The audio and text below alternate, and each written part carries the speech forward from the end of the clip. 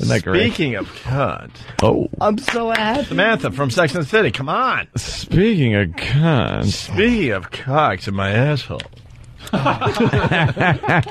Jesus, why don't you leave a little to the imagination there, Samantha?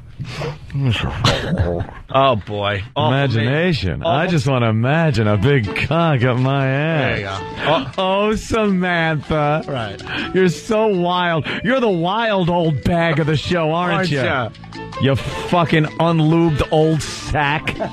Speaking of, Yeah. So we're all out here to lunch, just sipping on our little coffee at some hip, trendy uh, restaurant here in Manhattan. and sharing secrets. Sharing little secrets. So what'd you do last night? I must have sucked 20 cocks. oh, Samantha. Oh, you're the wild one. You're crazy. you?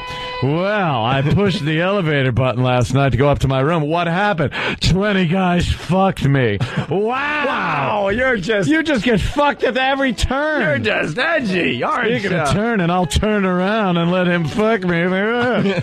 oh Boy, wow, you really shocked us with that little secret, Samantha. shocking. Boy, Is that the word? I can't sit through one advertisement of that fucking show. TBS has Sex in the City. Do they? Uh, they go around the table. There's some cute little secrets. Yeah. Samantha, Jesus. Samantha, uh, you know, I love ass sex. Oh, why, why so much ass, ass sex? Well, my fucking uterus fell out 10 years ago. So all the only hole I have left that even resembles a pussy is my asshole. oh, Samantha, you're wild. And I would stretch that out last night with that black guy. I met at yoga class. Oh, shut up. Yeah. Speaking of yoga, Speaking of yoga, I can now bend in a new position where I could suck a dick, get fucked in the ass, and the pussy at the same time. Thanks to yoga, if there's no cocks around, I could eat myself out. oh, Samantha. oh, you're just a wild Oh, one. you're wild. Would you like some more tea? Oh, tea. How about teabag my face? oh, Samantha.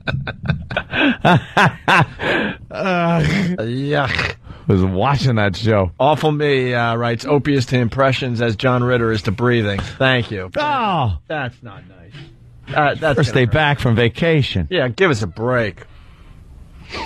Break my ass. God damn my brother. God bless. Ah. God bless Elmo for coming up with that observation back in the one. day. Love that one. Because usually when you say speaking of or something, you're kind of going to make it subtle, but she, Oh, it was always something over the top. Yeah. I gotta go shopping to. Speaking of shopping, Let me tell you what happened in the dressing room. I had three cocks in my ass. I stuck the mannequin head in my pussy.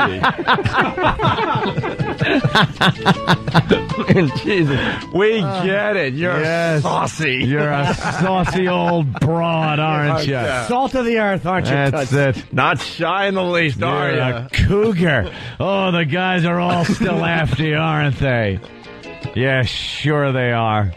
Dude, how funny is Cougars now, man? Oh, See, before like uh, someone came up with the whole Cougar thing, cougar. there were women out there a bit on the older side. They they do- dollied themselves up, painted up their Yeah. faces, and they were looking for young cock in the bars.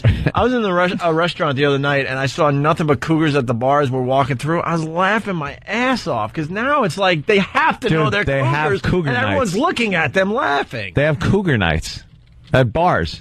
Cougar night.